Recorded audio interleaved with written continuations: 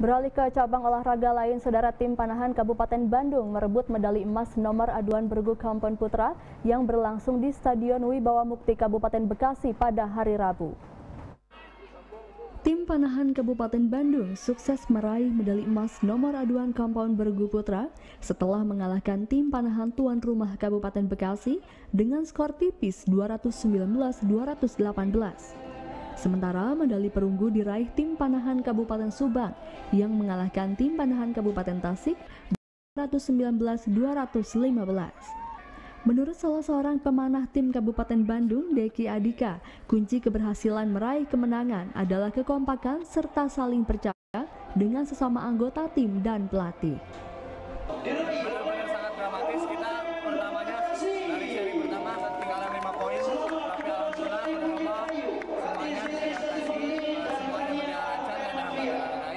Kita bisa leading satu poin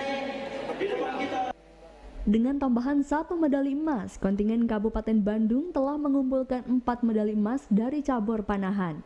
Kabupaten Bandung masih berpeluang menambah perbendaharaan medalinya karena masih ada beberapa nomor yang belum dipertandingkan.